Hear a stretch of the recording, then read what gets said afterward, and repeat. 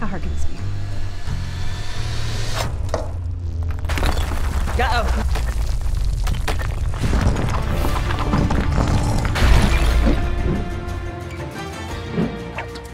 Last week, Indiana Jones and the Dial of Destiny premiered in Hollywood, California. And we were there to give you an up close look at the star studded event. Longtime fans, new stars, and some of the legendary creators and actors involved in the franchise from the beginning were there to see Indy off on his last crusade. To watch the full recap of what they had to say about this momentous occasion, head on over to Lucasfilm YouTube and social channels.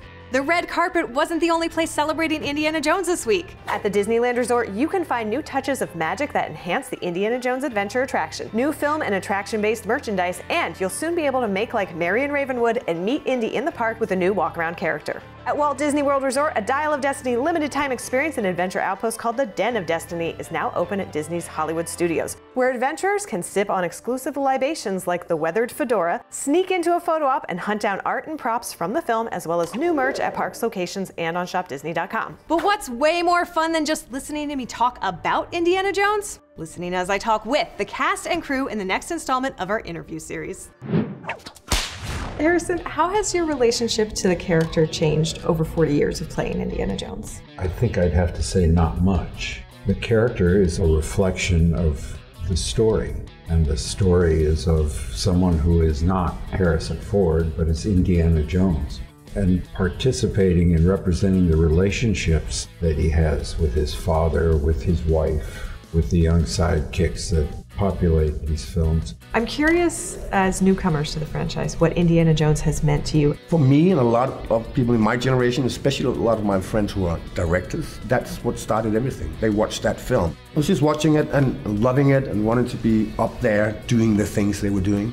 And uh, well, now I got to do it. I used to watch these movies so many times with my family. I used to watch them almost every weekend with my mother and my dad. Like, who didn't watch them and who didn't love them? Who doesn't love Indiana Jones? Yeah, I, I think about Ke Huy Quan, who I just wanted to be that kid and just really giving the sense of adventure that you can have these adventures too. And I think that's, as cliche as it sounds, the magic of cinema.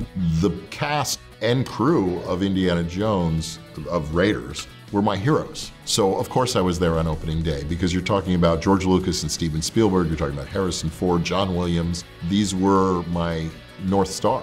It's cool to actually collide generationally. You look at the beginning of the movie that takes place in the 40s and we jump to the 60s and feels pretty appropriate to say that this is such a timeless franchise and a timeless piece and it was, it was wonderful to be representative of that.